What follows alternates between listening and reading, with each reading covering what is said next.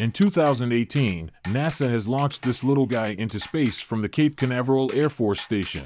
It is called Parker Solar Probe built by NASA and its partners. Parker's task is to touch the sun. It will fly more than seven times closer to the sun than any spacecraft, according to NASA.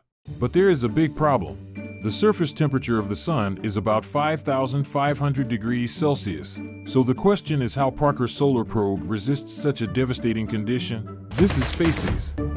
Over seven years, the spacecraft will complete 24 orbits around the sun. At its closest approach, the spacecraft will come within about 6.2 million kilometers of the sun. To know what's going on, look at the structure of the sun first. The outermost layer is the corona known as the solar atmosphere. Parker will investigate what drives the wide range of particles, energy, and heat that course through the region. You even can't imagine how inside the corona is super hot. But why does not that spacecraft melt? Engineers designed Parker Solar Probe to withstand extreme conditions and temperature fluctuations during its mission. The key lies in its special heat shield and an autonomous system that helps protect the mission from the sun's intense light emission. Understanding the concept of heat versus temperature is crucial. High temperatures do not always translate to actually heating another object. In space, the temperature can reach thousands of degrees without providing significant heat to a given object or feeling hot because temperature measures how fast particles are moving. However, heat measures the total amount of energy that they transfer, Particles may be moving fast, causing high temperatures, but if there are very few of them, they won't transfer much energy to cause low heat. As I told you before, that space is mostly empty. So there are very few particles that can transfer energy to the spacecraft.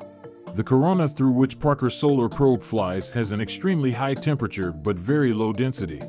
Think of the difference between putting your hand in a hot oven versus putting it in a pot of boiling water. Hey, don't try this at home.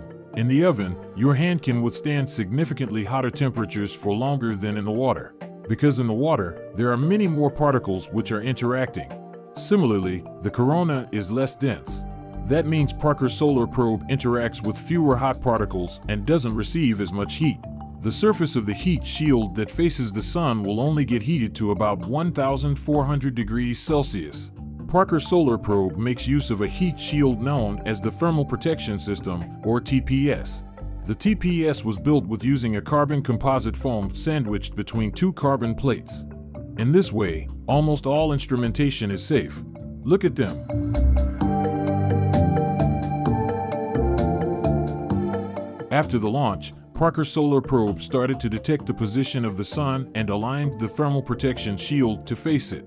Over the course of seven years of planned mission duration, the spacecraft will approach the Sun to sample the solar wind. According to the SkyLive website, Parker Solar Probe is currently in the constellation of Capricornus.